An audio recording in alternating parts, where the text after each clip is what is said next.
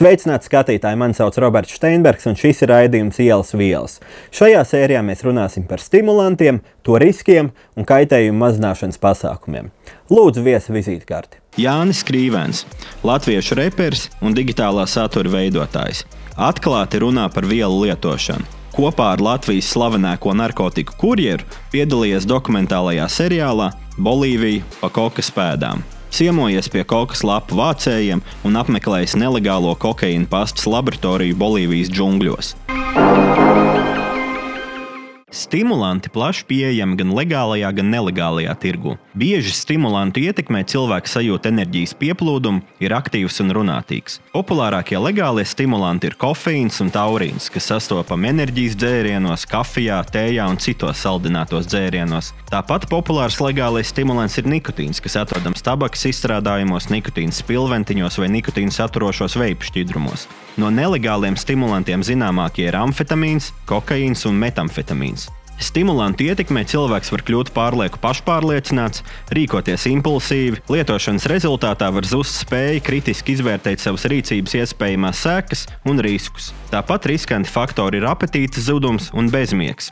Ilgstoša negulēšana var novest pie halucinācijām, kas kombinācijā ar paranoju vai trauksmi var rezultēties dzīvībai bīstamās situācijās. Tāpat negulēšana un nēšana var novest pie spēka izsīkuma, kas lietotāja pašsajūtu var negatīvi ietekmēt ne tikai lietošanas laikā, bet arī vairākas dienas pēc lietošanas. Vairāki stimulanti, īpaši kreks un kokaīns, ir ar īpaši augstu atkarības izveidošanās risku, kas prasa īpašu piesardzību un paškontroli no lietotāja puses. Patērēšanas veidi šīm vielām ir dažādi.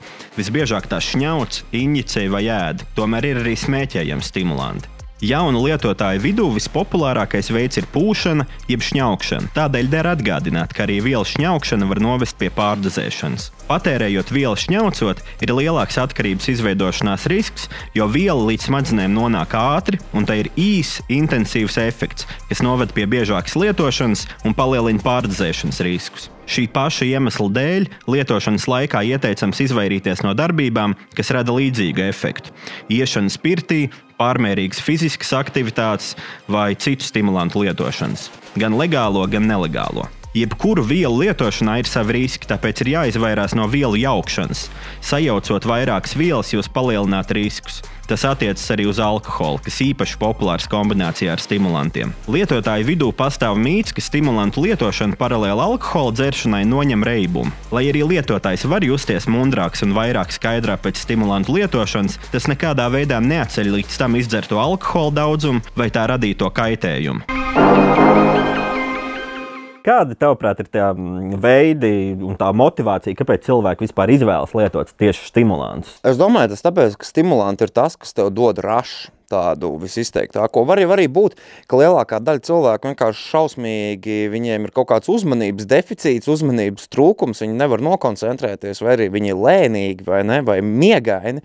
Un varbūt tāpēc viņiem patīk tas stimulantā, īsā, ad, drošā adrenalīna deva. Jo pa lielam visiem cilvēkiem, man liekas, visiem cilvēkiem cepja adrenalīns kaut kāds vairāk vai mazāk visiem patīk. Cik tālu tu esi gatavs iet, lai to adrenalīnu norautu, tas ir katra individuālajā izpratnē. Citiem ir ātrums, tā kā fizisks ātrums, vai ne, nevis spīds, citiem augstums, citiem kaut kāda ekstrēmie sporta veidi.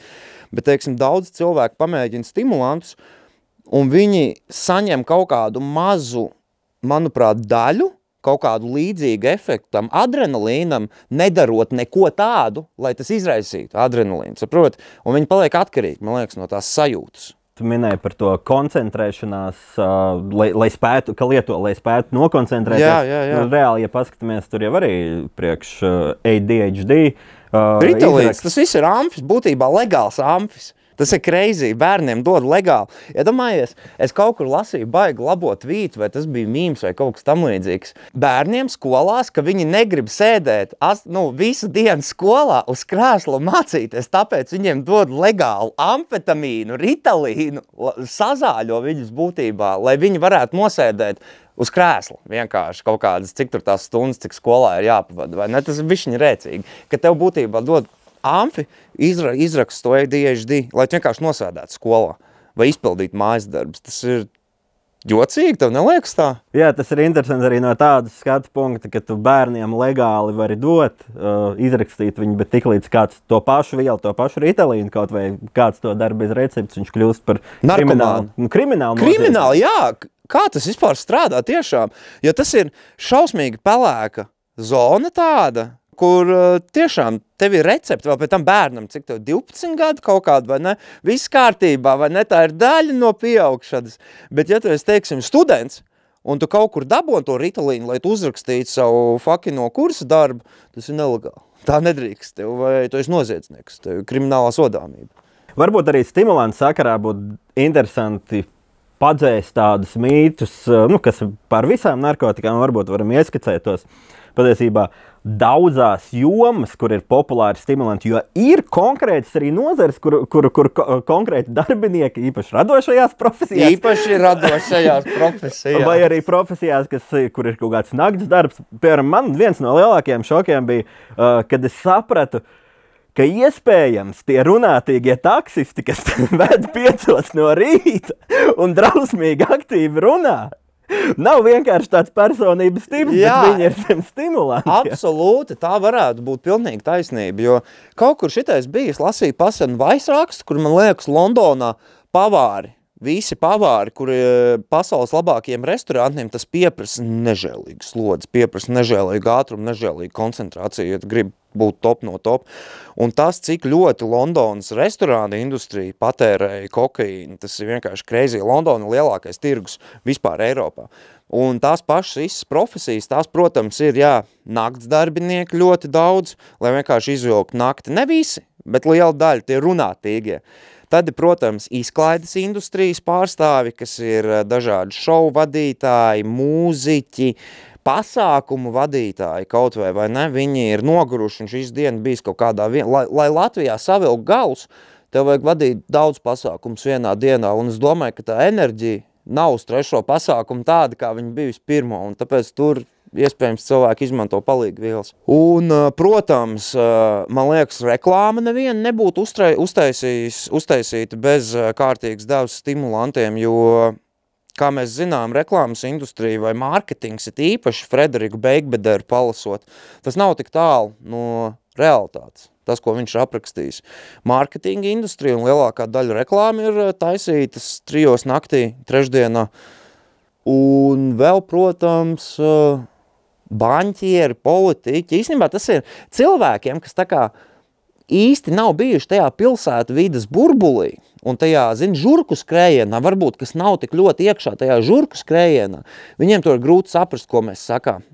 Piemēram, cilvēkam, nu, no limbažiem, teiksim, viņš dzīvo limbažos mierīgu dzīvi, viņam ir kaut kāda saimniecība, viņš ir superīgs, kārtīgs, foršs cilvēks. Viņš visticamākais nesaprot to, ko mēs te runājam. Bet tāpat ir arī ar cilvēkiem, kas tiešām nesaprot, ko mēs runājam, un nekad dzīvē nav mēģinājuši stimulantu, viņi nekad dzīvē nepateiks, kad kāds ir sapūties. Kāds saka, nekad dzīvē. Es bieži vien skatos, eh, teiksim, es esmu ar māmu kopā skatījies kaut kādus šovus, un es uzreiz šovā redzu tas čalis. Es uzreiz to redzu, jo es to esmu pamēģinājis, un es zinu, kas tas ir. Un vēl ir tas teiciens, tāds tādu atpazīst, vai ne? Tāds tādu redz. Bet cilvēks, kas nekad dzīvē to nav mēģinājis, kas nav bijis exposed tam, viņš nekad dzīvē nepateiks, ka kāds ir uz stimulantiem. Tāpat kā tie runātīgie taksisti. Tu tikko to pateici, un man tāds, jā, vispār tā varētu būt. Bet, teiksim, cilvēks, kas brauc, nu, kaut kāds apsardziņš parasti, nu, tur 60 gadīgs no savas naktsmājas mājās, viņš nekad to neievēros. Arī Latvijas gadījumā to, reklā, to reklāmas industrijas pieprasījumu pēc stimulantiem. Nu, Tieši vai netieši tas ir apstiprinājies arī publiski no šīm pašām personām. Ah, jā, pareizi. Jā, man liekas, ir bijuši vairāk pat gadījumi. Vārdu, uzvārdos, protams, nesauksim nevienu, bet jūs varat googlē paši visu atrast. Tas arī ir droši vien viens no tajiem mītiem un, un, un, un viena no tajām stigmām, ka visi narkotiku lietotāji ir drausmīgi, neveiksmīgi. Slāpī ir bombi pie miskastēm, tā kā crackheads stereotips. Jā, jā, un, un piemēram, tas ir. Es domāju, ka daudzi, daudziem tas tiešām būs pārsteigums, ka tas, tas, ko rāda filmās, tie kokaīna lietojošie banķieri, tā nav fikcija, tas ir ņemts no dzīves. Tā nav fikcija, tas viss ir absolūti taisīts, uz, balstīts uz patiesiem notikumiem. Kad vispār sākās tas viss milzīgais kokaīna bums 70. beigās, 80. Amerikā, tad, tad viņš pat tika kaut kādā veidā viņš, viņš nebija, lai gan tagad arī viņš nav tabū vairāk pat īsti, tagad ir, ir iziets kaut kāds tas viens narkotikas dzīves aplis, kad viņi ir atgriezusies pie tā, kas viņi bija sākumā, respektīvi, tad 90. un early 2000s bija tādi bumpy, bet man liekas, ka tagad globālajā kaut kādā, teiksim, ka tu jau aizvien vairāk skaties popkultūrā vai filmās, vai ne, kā tas tiek normalizēts, kā tas par visur tiek runāts. Man liekas, ka tas šobrīd jau ir kaut kādā līdzīgā stadijā tam, kā tas bija 80. sākumā. Manuprāt, vismaz sabiedrībā, popkultūrā mēdījos. Un uh, tas viss balstīts uz patiesiem notikumiem, lai cilvēkiem nav... Tu zini, kā tu pelni pārāk, da... kā, kā dieviņš tev liek manīt, ka tu pelni daudz naudas? Tad, kad tu sāc izmest uz koku visu? Kokaīns. tas ir tas moments, kad dieviņš tev dod dzīves, ka tu pelni pārāk daudz naudu. tas ir arī tāds labs joks. Pat politiskā līmenī mums ir bijuši pašvaldības, bagātas Tusiņš pašvaldības. trūksni varētu būt kreizies, iedomājos. Iedomājies, ka ir otra diena, trīs naktī, jūrmals doma, iedegts viens loks, vai ne, naktī. Trūksnis sēž, kāds persijas paklājs varētu pasūtīt no Šveices, vajag tieši konkrēti šo persijas paklāju. Tur uh, sižetā dzirdējām, bija minēts par to, ka ilgstoša stimulantu lietošana var novest pie bezmiega, no, pie nēšanas, un tas savukārt var radīt halucinācijas. Tev pašam ir bijis kaut kāds uh, bad trips, kur uh, rezultātā tev ir kaut kādas halucinācijas. Baigi, nē, es neteiktu, ka man būtu, man ir bijis bad trips no psihodēlijām, es to esmu, man liekas, kaut kādos citos radījumos apskatījis, bet no tā man nav īsti bijis bad trips, es, es nezinu, es laikam esmu vienmēr zinājis, kad iedot pa bremzīti. Man laikam ir ar to pašnovērtējumu tā, kad uh, es zinu savus limitus, ko es esmu varējis izdarīt, vai ne, tad, kad ir bijis tas viss pedāls grīdā periods, vai ne, pirms septiņiem gadiem, kad satīns radās. Un tad kaut kā, paldies Dievam, mums nevienam nekas nenotika tajā laikā ar cilvēkiem, kuriem es tusējos, kuriem joprojām uzturu. Mēs visi esam kopš tā laika bišķiņi, bišķiņi izauguši, bišķiņi, bišķiņi labāki palikuši. Un paldies Dievam, viss vienmēr mums tajā laikā ir beidzies, beidzies labi. Nē, mums tas noteikti nav bijis. Šņaucēju, jeb pūtēju vidū populāra praksa ir taisīt līnijas ar plastikāta kartēm vai atslēgām un šņaukt ar sarullētām banknotēm no telefona ekrāna. Pieļauju, ka daudz ir dzirdējuši, ka banknotes, atslēgas, maksājuma kartes un telefoni ir viens no visnetīrākajām lietām, ko nesājam sev līdzi ikdienā. Šādā veidā jūs iešņaucat vielu kopā ar kaudzi baktēriju, kas var radīt citas problēmas, un pavisam noteikti nenāk par labu jūsu veselībai. Tāpat populāra, bet kaitīga praksa ir dalīties ar šņaucamo rīku ar kompānijas biedriem. Pūšanas laikā tiek traumēts deguns un iespējama asiņošana. Caur asinīm var nodot dažādas slimības, tajā skaitā C hepatītu un HIV. Regulāri šņaucot vielas, cilvēkam var noardīties deguns starpsieniņa, kas nozīmē, starp abām nāsīm ir caurums. Lai arī šī parādība nav ļoti izplatīta, saikne starp deguns starpsieniņas noardīšanos un narkotiku šņaukšanu ir pierādīta. Mēs nekādā veidā neaicinām lietot aizliegtas vielas, bet tiem, kas ir nolēmuši to darīt, piedāvājam kaitējumu mazināšanas paņēmienus, kas palīdzēs mazināt riskus. Šī informācija ir paredzēta tikai izglītojošiem nolūkiem. Ja atrodies valstī, kur pieejama anonīma narkotiku testēšana, izmanto šo pakalpojumu, lai pārliecinātos, ka vielai nav bīstama pieauguma. Ja injicē vielu, vienmēr izmanto tīru šķirci, neizmanto lietotas šķirces un nedalies ar citiem. Atcerieties, ka arī šņaukšana var rezultēties pārdozēšanā. Vielas iešņaukšanai nelieto banknotes, labāk izvēlēties vienreiz lietojamos papīra salmiņus. Ar plastmasas salmiņiem ir lielāks risks traumēt degunu. Dezinficē rīku, ar ko taisa līnijas un virsmu no kā pūtīs. Sasmalcina lielākos gabaliņus. Sāc ar mazu daudzumu, vienmēr varēs iepūst vēlreiz, taču, ja sapūtīsies par daudz, palīdzēt varēs tikai profesionāli mediķi. Nogaidi pirms atkārtot uzņem vielu. Dažādos apstākļos viela var iedarboties vēlāk. Gaidīšanas laiks starp lietošanas reizēm atkarībā no vielas un literatūras svārstās no 40 līdz 80 minūtēm. Katrs lietotājs lieto savu šņaukšanas rīku un ar citiem nedalās. Izkalo nāsis ar ūdeni pēc lietošanas. Ja tev nāsīs ir stimulanti, tu tos mazos daudzumos turpini uzņemt, kamēr esi miegā. Atceries, ka vielu jaukšana arī alkoholu, būtiski palielina riskus. Nelieto vairākas vielas vienlaikus. Ja tomēr nolem paralēli lietot alkoholu, regulāri uzņem ūdeni vai citus bezalkoholiskus dzērienus. Piemēram, pēc katras izdzertās vīna glāzes izdzer glāzi ūdens. Pirms sākam par šiem kaitējumu mazināšanas pasākumiem runāt, varbūt parunājam par tavu pieredzi Bolīvijā. Wow, jā, kas piedzīvojumi tas bija? Ko tu tur darīji sa saistībā ar koku un kokaīnu? Oh, pētījām, nu, gājām līdzi Latvijas slavenākā narkokurjera Rolanda Prīvērta jaunības dienām, teiksim tā, kā viņš tur iedzīvojās, kā viņam gājas un pētījām, kā to ražoju. Tas bija tieši tajā Covid vidusposmā kaut kādā. Un labi sakrit visi apstākļi tādi, ka mēs varējām uztaisīt dokumentālo par to, jo koks šobrīd ir pietiekami populāra lieta visā visā, visā pasaulē.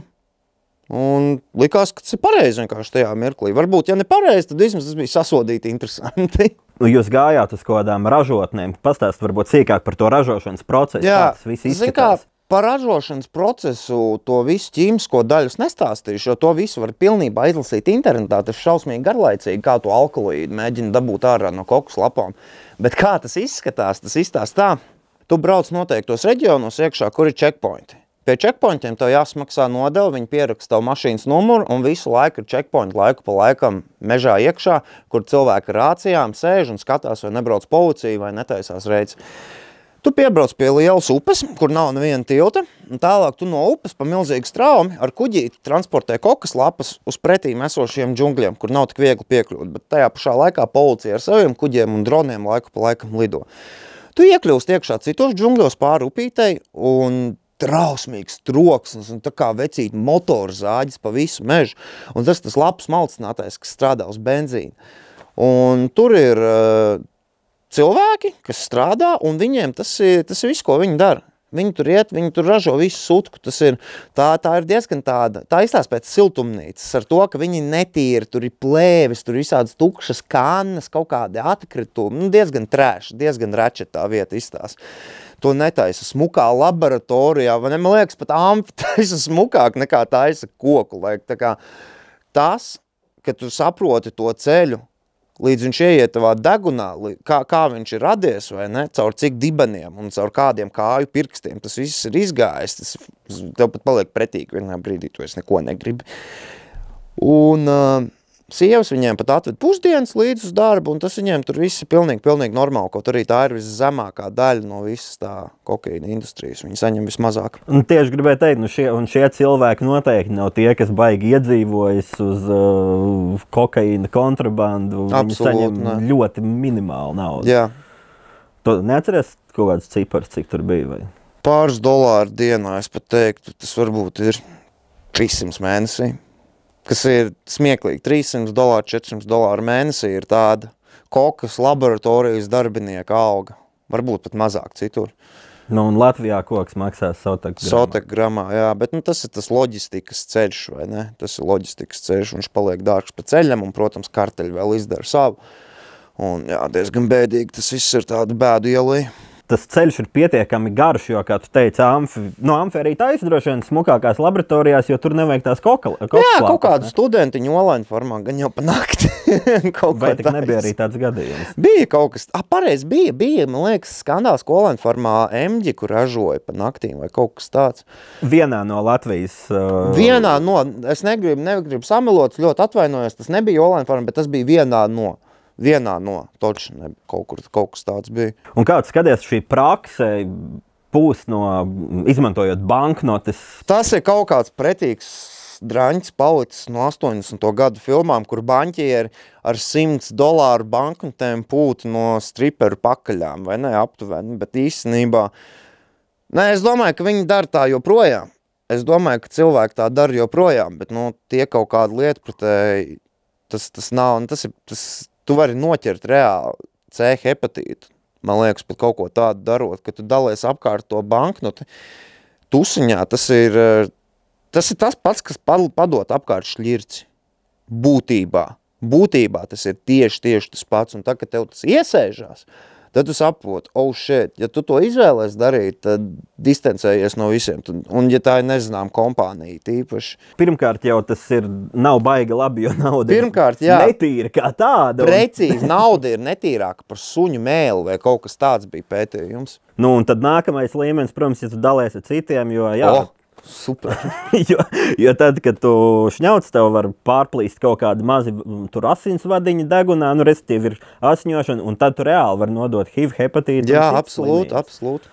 Un tad vēl šitais, kas, kas protams, arī ir radies tā rezultātā, uh, ka vienkārši viss šis pasākums ir absolūti aizliegts un kriminalizēts. Bet arī pietiekami populāri ir šņaukt klubu toaletēs, kur tikko kāds ir No kakājis, ārprāts. Tur- nodarbojies Tur ar seksu un apvēmies. Iedomājieties, uz tā pašas kaut kādas toaletes bačoka, kur kāds ir nodarbojies ar seksu, kāds ir sēdējis, kāds ir uzčurājis virsū, tur ir kūsas kaut kādas palikušas. Tu Nu, tad aiziet, vai ne? Nu, drausmīgi tas viss ir. Bet, zin, tā visa slapstīšanās un tā visa netīrība, zināmā mērā jau ir tādēļ, ka cilvēki, pirmkārt, gan tā auditorija, kas koku patērē, kādos, eh, kādās vietās viņi to patērē, nekāda cita varianta jau nav. Nu, tas joprojām ir diezgan liels tabū. Kaut arī, teiksim, mūsu žurku skrējienu burbulī, pa lielam tas jau tiek pielīdzināts aptuveni ganžas līmenim. Un es nezinu, vai tas ir labi vai slikti. Es nezinu, vai tas ir labi vai slikti. Bet, teiksim, cilvēkiem, kas nav šitajā burbulī un nav īsti uz vienu viļņu par to, ko mēs runājam, viņiem tas ir šausmīgs tabū. Viņi joprojām redz, es domāju, šņaukšanu kā to, to, to pašu, kas duršanos. Pilnīgi, pilnīgi identiski. Pilnīgi identiski viņi to redz. Un tieši tāpēc joprojām ir tas tabū, un tieši tāpēc ir tā slapstīšanās, un tieši tāpēc ir tā drausmīgā netīrība un preteklība. Un, un es domāju, tas tāds aburts logs, zini. Par to izplatību, ko tu saki, sāk pielīdzināt uh, ganžai, nu tas man šķiet, nu tur var diskutēt labi vai slikti, bet tas noteikti parāda to aktualitāti, jo es nezinu, kā tavā burbulī, bet savā burbulī to stimulantu klātbūtni es izjūtu patiesībā no gada uz gadu arvien vairāk, ka, tā, ka tas uh, pieprasījums aug. Tev neliekas, ka tas ir arī atkarīgs no paša stimulanta. Attiecīgi, ja tavā burbulī aizvien vairāk ir pieprasījums pēc amfetamīna, maini burbuli vecīt. Kaut kas nav kārtībā to burbuli, jo ampis ir, nu, ampis ir ampis. Nē, viņš ir lēts, pretīgs, smirdīgs, ķīmisks. Tās blakus, blakus efekti, man liekas, ir daudz trakāki nekā, teiksim, no koka vai kā cita. Bet uh, tas, kas liecina, ja tavā burbulī aizvien vairāk parādās un sāk cirkulēt kaut kādā mērā kokaīns, tas zināmā mērā liecina par augstu dzīves līmeņa kāpšanu.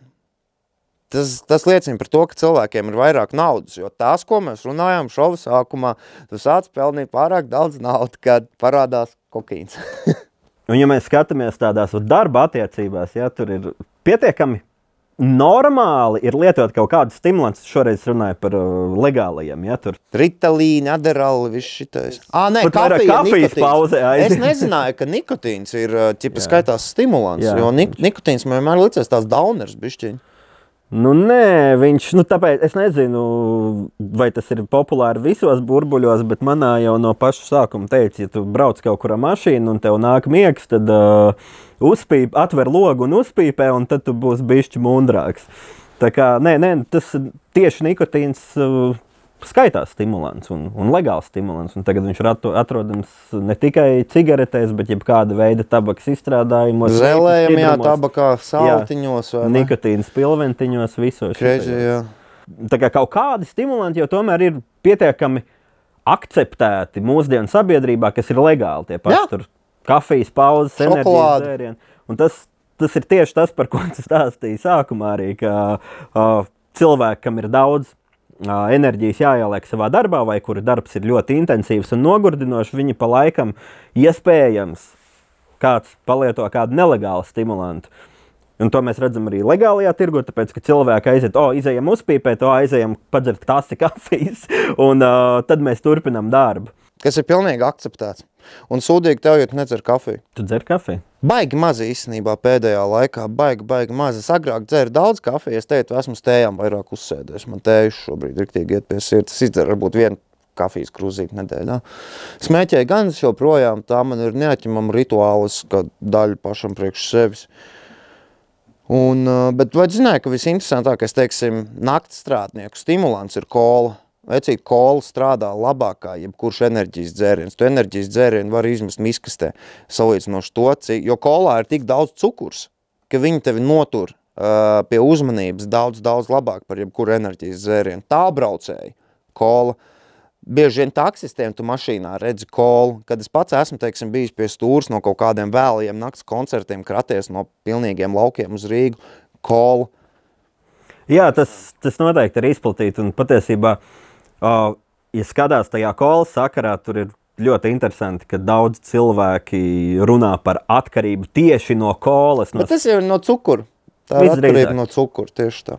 Kāds ir tavs uh, uzskats par to, kādam būtu jābūt stimulantu regulējumam? Dienas beigās es esmu reperis. I don't know shit. Es nevaru spriest par tādām lietām kā regulējumi, bet tas, ko es varu spriest, par to noteikti nebūtu jāliek cietumā. Uh, jebkas, kas ir saistīts ar kriminālu atbildību, ir jāmet miskastē. Tā kā es to pilni, un es to uzskatu ne tikai stimulantiem, tas ir jebkurām narkotikām, tieši pa lietošanu.